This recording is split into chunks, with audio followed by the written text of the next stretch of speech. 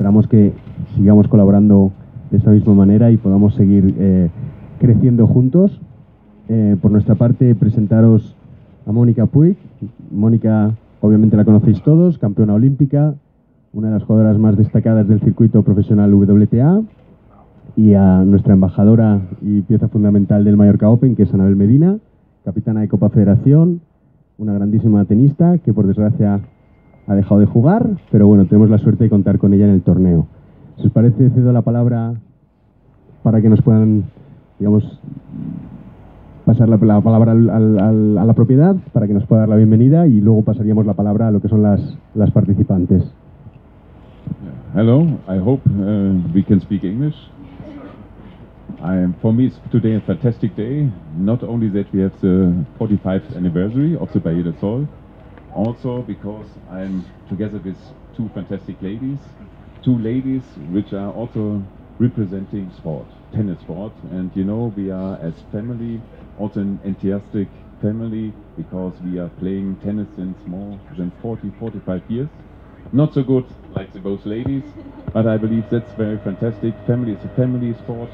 Uh, tennis is, in my opinion, a sport where you have the good relation to the clients, to the customers, to the guests.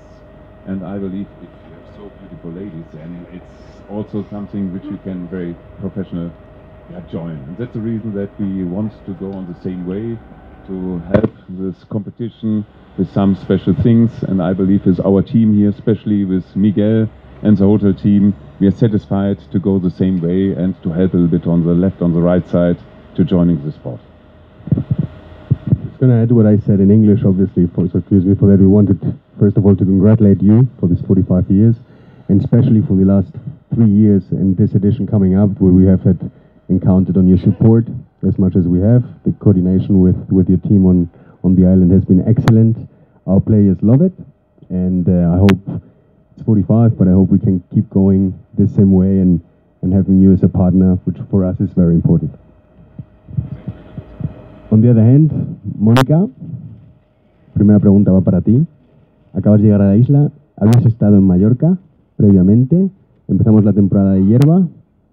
Sensaciones, nada más llegar y cuáles son las expectativas en estas próximas dos semanas, obviamente mirando también, imagino, a Wimbledon.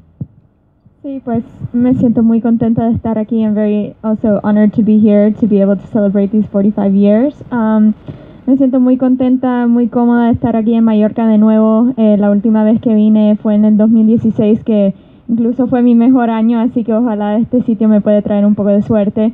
Eh, me siento muy contenta de estar en las pistas de hierba de nuevo para empezar esta gira eh, y empezar mi, mi temporada de, de hierba aquí en, en Mallorca antes de ir a Wimbledon y otra vez muy feliz. Y una pregunta más también valorando estas vistas que tenemos ¿no? y esta hospitalidad. ¿Qué hace Mallorca tan especial que tengamos cada año en el Mallorca Open un cuadro tan tan fuerte siendo un torneo de la International Series? ¿Qué son los valores que para una jugadora cuando sale de la pista le ayudan a tener una buena semana? ¿Qué importa el entorno, la gente, etcétera, etcétera? Sí, pues obviamente la organización y la gente que trabaja para el torneo es muy importante, especialmente para hacernos sentir muy cómodas en, en en donde nosotros usualmente somos muy intensas en la cancha y, en, y en el, y el, entorno de, de, todo el mundo. Es, es increíble y también venir a un lugar así donde hay playa, uno puede hacer cosas diferentes fuera de la cancha, ayuda a relajar la mente un poco y venir aquí antes de uno de los torneos más importantes del año definitivamente viene bien.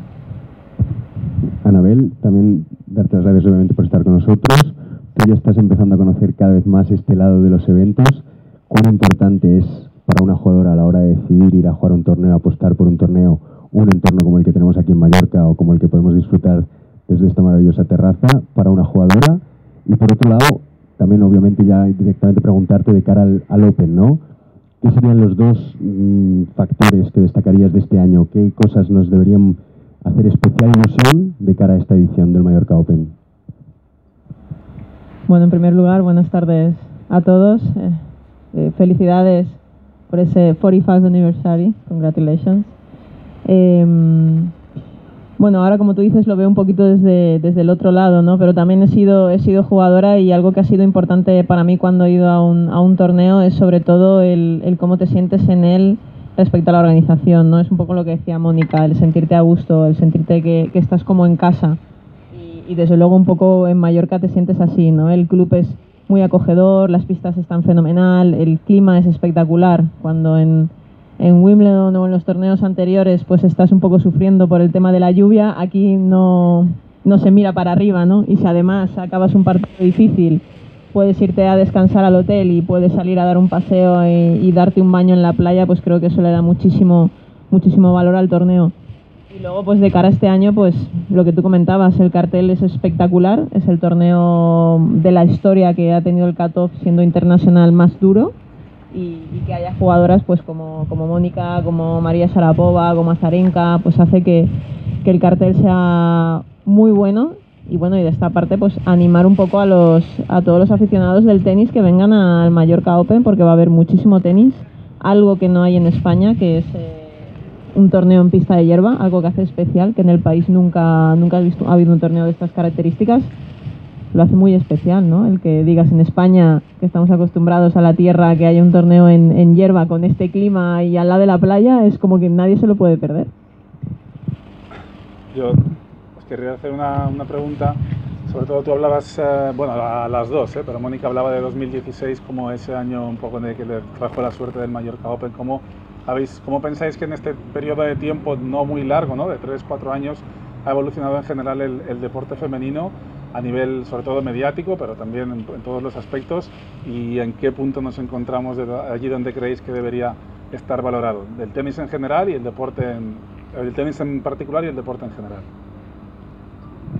Sí, bueno, yo creo que desde entonces ha cambiado mucho. Eh, las jugadoras ahora, todas, cada una es buena. Así que tú tienes un torneo como la de esta semana que tenemos un montón de jugadoras muy buenas que uno no puede decir esta va a ganar el torneo porque en realidad cualquier mujer que va a la cancha con su juego, con teniendo una buena semana, un, un, una buena mentalidad puede ganar el torneo y hoy en día como puedes ver eh, solo creo que hemos tenido una jugadora que ha ganado dos torneos seguidos en el año, uno o dos jugadoras que lo han hecho, así que definitivamente enseña que el circuito está cambiando de muchas maneras, especialmente en, en, que las chicas ahora hoy en día creen que pueden competir con las mejores y que incluso no, va, no van a tener una jugadora que va a ganar cada torneo, que hay mucha variedad, variedad en, en cómo juegan, variedad en cómo, en cómo piensan en la cancha y, y también la madurez de las jóvenes que vienen subiendo, que hay muchas que, que con incluso 17, 18, 19 años están llegando súper lejos en los Grand Slams, así que el tenis va cambiando y nosotros cambiando con el tenis, pero una cosa es que todas vamos a la cancha a competir cada vez y tratando de ganar cada partido y, y ganar torneos. Y para, y para ti un poco lo mismo, ¿no? Últimamente se habla mucho del deporte, del fútbol femenino sobre todo, no sé si las que practicáis otro deporte al final también querréis, eh, pues igual que ellas se han hecho con respecto al masculino, vosotras también reivindicar el deporte femenino en general respecto al, al fútbol, ¿no? Que parece que ahora mismo se lo, se lo come todo también entre las chicas. Bueno, yo creo que en este caso el tenis femenino es, nos podemos considerar eh, privilegiadas, sobre todo en, en, quizá más en España, ¿no? El tenis siempre ha sido un deporte que, que ha destacado muchísimo, en el que se le ha dado muchísimo valor sí que es cierto que ahora, como tú dices, el, el fútbol ha cogido ese, ese impulso, ¿no? Porque se ha apoyado muchísimo desde, el propio país, eh, un deporte que es tan, tan famoso eh, con los chicos, pues también hacerlo con las chicas. Pero yo creo que en general lo están haciendo con, con todos los deportes. Se ha, movido esta corriente de apoyo al deporte femenino que viene desde, Londres cuando las medallas eh, fueron una gran mayoría femeninas que masculinas. Realmente se da cuenta que que había un mercado muy bueno de atletas muy buenos y que faltaba esa promoción, que es lo que se está haciendo ahora, ya no solo con el tenis o con el fútbol, sino con también otros deportes que pueden ser más, más minoritarios, que ya están cogiendo protagonismo, como puede ser eh, Carolina Marín, que jugando al badminton, pues a día de hoy es una estrella a nivel, a nivel nacional. Yo igual aprovecharía para hacerte también un apunte en este respecto, ¿no? viéndolo también desde el lado de la organización de los eventos. Por un lado, destacar, como bien decía Anabel y como decía Mónica, que el tenis es un deporte que realmente ha estado en la cabeza en los últimos no ya 5 o 10 años, sino 20 años en cuanto a lo que es el deporte mujer en general, ¿no? Es de los pocos deportes que tiene eh, premios en metálicos iguales, por lo menos en los Grand Slams y muchas competiciones. Es uno de los pocos deportes que tienen reglas para las diferentes situaciones, porque al final hay que adaptar, ¿no? Eh, como pueda ser la maternidad, que es una cosa que se ha introducido en el, en el circuito en este año. Es decir, yo creo que ese rol del tenis que lleva luchando y encabezando esta lucha del deporte femenino en los últimos 20, 25 años, sigue ahí, siguen innovando, siguen reforzando y es muy, muy a valorar. Por otro lado, también decir todo lo que hay alrededor, ¿no? Nosotros yo creo que somos todos los que vemos lo que el deporte femenino aporta a la sociedad, lo, que, lo importante que es tener unos referentes de mujeres independientes, mujeres fuertes, mujeres luchadoras.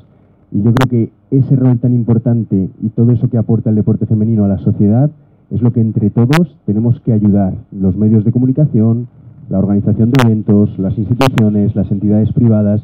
Creo que estamos todos en el camino correcto, pero al final creo que todos tenemos que participar de esta mesa.